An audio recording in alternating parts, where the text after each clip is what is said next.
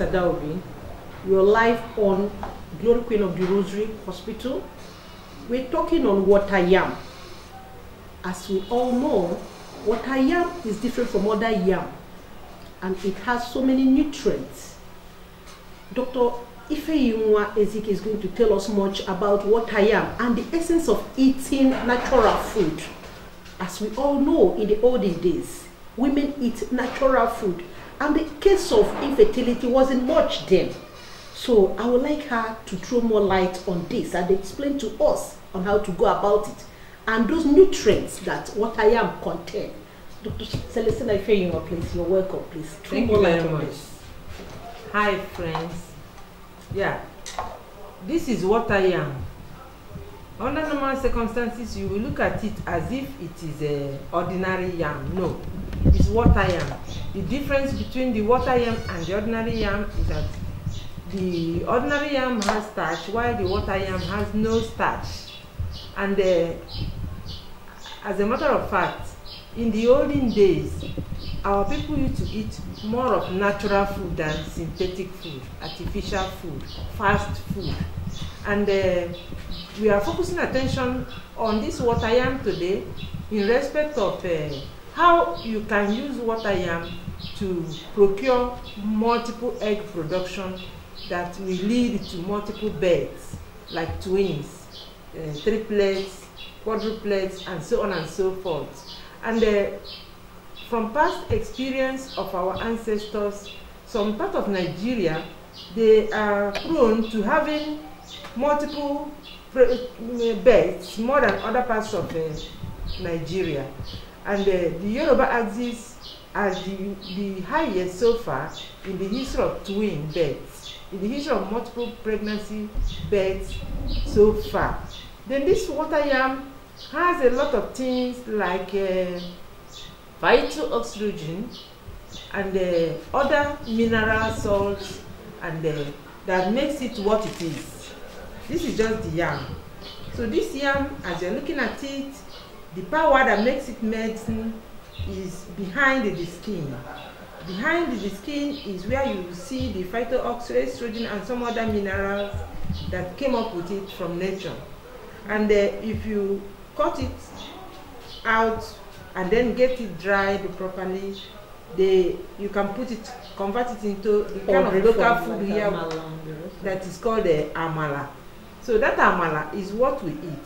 But naturally, people that eat natural food, they tend to have good health because too much of artificial food, synthetic food like cake, biscuits, uh, fast food, uh, meat pie, bread, and all those things. When you eat a lot of them, you see that these days you produce a lot of uh, fibroid. You you get cases of fibroid on the high rate, cases of uh, endometriosis on the high rate is is a result of artificial food that you eat. So uh, we are what we eat, as a matter of fact. Exactly. So because we are what to eat, the people that eat more of this yam, that is water yam, they tend to produce lots and lots of twins in the society. But in Nigeria, there are some tribes that produce twins so much, there are some tribes that don't. Uh, and uh, we used to have it as a kind of story that because they were not taking care of twins in the olden days, their future generation don't give birth to twins so much again. But uh, the Yoruba people were taking care of twins. They, they see it as blessing from God. Some tribes in uh, Anambra, Ebonyi, they see it as a curse in the olden days, and because of it, they they dispose them when they are born in a bad way, and then the rate of uh, having twins are not much now. Uh, my sister, my presenter, my producer, you are a twin girl Mhm. and you have a twin sister. Okay. Can you shed more light on this matter? That's why you are here with me. Well, actually, um, I am is very, very good, as we all know. And you even said it now that it's good to eat natural food. That artificial food do suppresses uh, the immune system. It's not good to eat artificial food.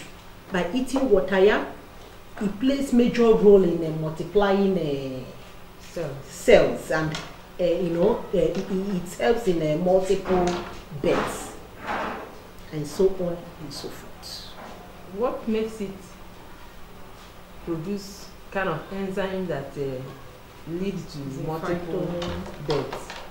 Is the phyto Estrogen. estrogen. Okay. And it contains quite like on other yam that do What not other way can we produce this uh, water yam? Like Well- in the Calabar aunties. Well, some people do slice it, you know, prepare it, grate it, prepare it with a lot of. Uh, they season it very well with crayfish, periwinkle, and the rest of them, and eat it like a And what is in um, Ikpankoko? Okay, that's where we are. So, how can we get your contact? My name is Dr. Ifeyinwa Celestina Ezeke of number 18 Chibuzo Close, Mebamo Koko, by Mechanic Bus Stop or Church Bus Stop, Lagos, Nigeria, West Africa. My phone numbers are 080 4752. You can join us on YouTube at Glory Queen of Rosary Videos. You join us on uh, Facebook, Facebook business page, and then uh, WhatsApp page, WhatsApp business. Have a beautiful weekend. Bye bye. Water yam is an antioxidant noted for its role in the prevention of coronary heart diseases, some cancers, and premature aging. Water yam could therefore be contributing significantly to the total nutrient intake of its consumers, especially that of those in the major producing areas where consumption is relatively high. The antioxidants in water yams help to reduce damage by free radicals in the body and slow down the effects of aging. They also have anti-inflammatory properties which help to reduce the risk of chronic diseases. The vitamin C in water yam also helps in wound healing and bone growth. Dioscorea alata, also known as purple yam, ube, or greater yam, among many other names, is a species of yam. The tubers are usually a vivid violet purple to bright lavender in color, but some range in color from cream to plain white. Twins are common in the Yoruba ethnic group that dominates this part of Nigeria. A 1970s study by a British gynecologist found that around 50 sets of twins were born out of every 1,000 births in the southwest, one of the highest rates of twin births in the world. Research into multiple births carried out at Lagos's University Teaching Hospital has suggested that a high level of a chemical found in the Yoruba women and the peelings of the tuber could account for the high level of multiple births.